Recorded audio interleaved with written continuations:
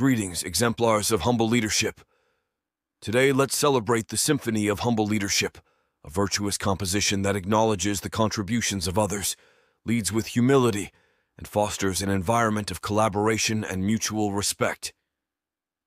Humble leadership is not about self effacement, it's about recognizing our limitations, valuing the perspectives of others, and empowering those around us to succeed. It's the recognition that, in dancing with humble leadership, we create spaces where everyone feels seen, heard, and appreciated for their unique contributions.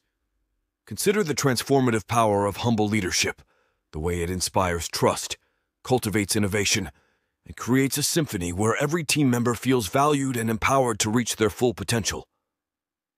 With humble leadership, we become conductors of teams that thrive on a foundation of humility and mutual support. So, my fellow exemplars, let's embrace the symphony of humble leadership. Let's lead by example, celebrate the successes of our teams, and remember that, in the dance of humble leadership, we create environments where everyone has the opportunity to shine